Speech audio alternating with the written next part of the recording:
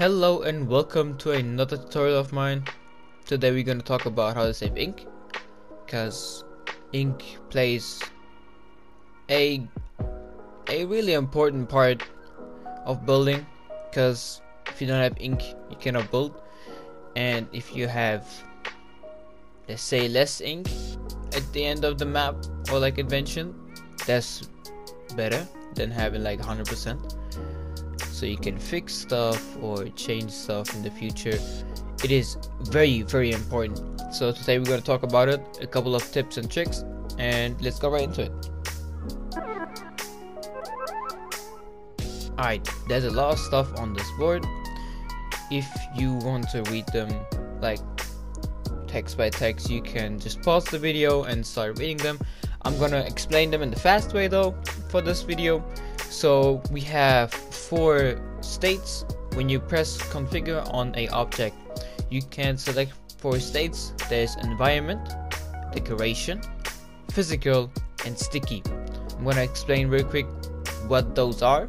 Environment is it has a collision. So let's have let's say you have a wall wall and when you have environment on it you cannot go through it.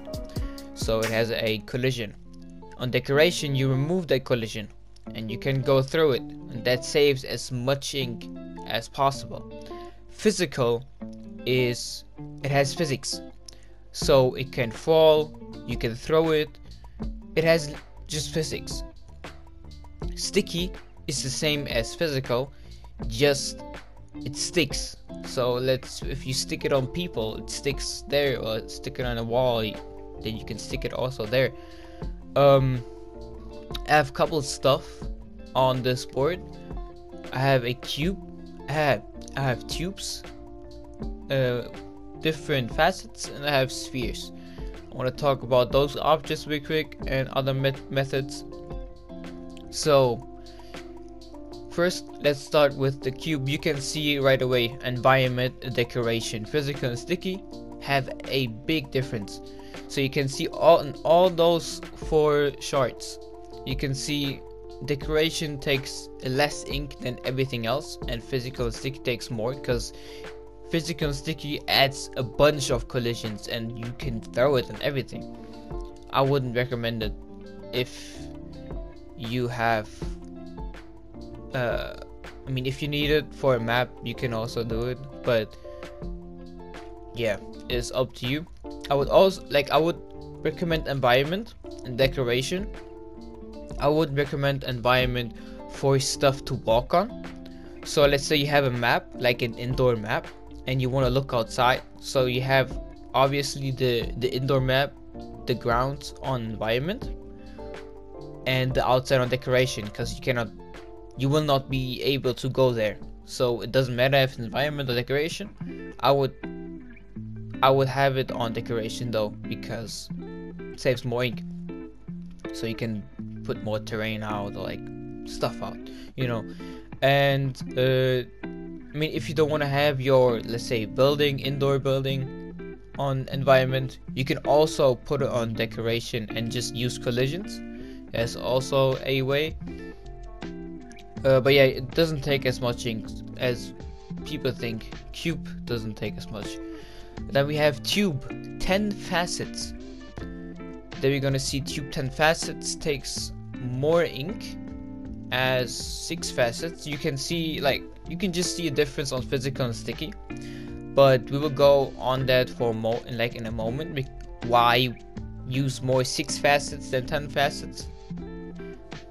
Um, but yeah, spheres doesn't take as much ink also. Uh, I like spheres a lot because you can build good looking terrain, you can build a lot with it. Spheres is, spheres is a good a good shape. I'll be honest, it's a really good shape. Then we have merging shapes. So there's a long text. You can you can um, have it. You can you can stop the video and read it if you like to. I'm just gonna say it in the fast way. Basically, merging shapes is you putting objects uh, with other objects in one container. So let's say if you go out of edit and you want to delete one object that is in a container with other objects, you're gonna delete all of those.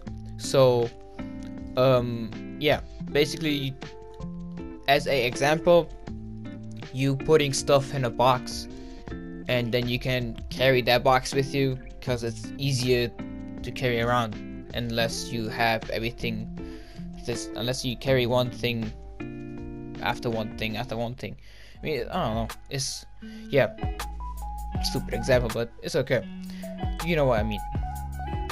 Now down there these are the important parts we have merge bundle uh, spheres merge bundle tube 6 facets, facets and merge bundle tubes 10 facets. Now there you can see you can merge a lot more spheres on decoration than tube 6 facets and tube 10 facets. Um and then environment also. You can see like how much how much stuff you can put in one box in one bundle with spheres as so you can save as much ink as possible. And then when you see six facets tubes you can put 2400 decoration uh, it's not accurate on numbers but 2400 tubes that are six facets and one bundle in decoration that's almost the half that's that's almost the half of decoration uh, for spheres. Then you can see 10 facets. It also just like split the six facets in half.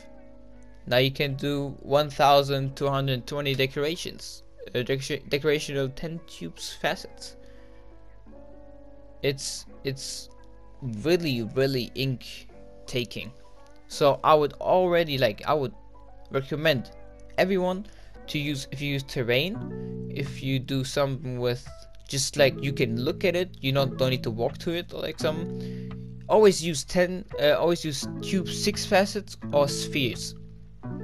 And decoration. Decoration is the best way to save ink. Really the best way. And just a note side do not use props. Props don't look good. They just look plain. It's just for like other stuff. I, I would never use props in a map. Uh, just do not use props. I have seen it a lot. It just takes a lot of ink. You can do the same if you want to rebuild the same couch let's say the prop couch. You save more ink than just putting the uh, the couch in um but yeah because you cannot change stuff with props so some gonna be always physical uh, or environmental you cannot change to decoration that's sad i wish they will put that down, but I don't know. Maybe they will. Maybe they will change it in the future. But yeah, these are like some hard tips where we can save ink. So you're gonna have your ink from looking like this to look like that.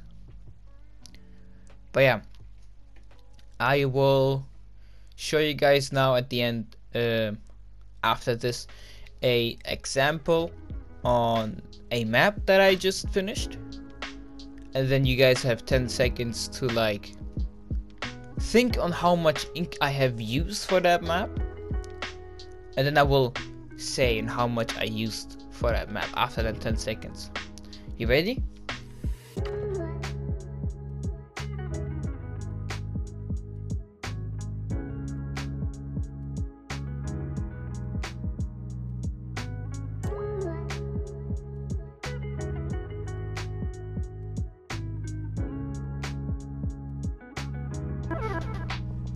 Have you guessed it right? If yes, put a comment down below if you have guessed it right. If not, tell me how much you thought it was on ink. Um, well yeah, that was it for the video. I'm gonna put more videos out soon. And yeah, I have links in the description about like workshop hosts, teacher stuff, and everything related about around creative rec room if you are curious. So yeah, I will see you guys next time. Bye.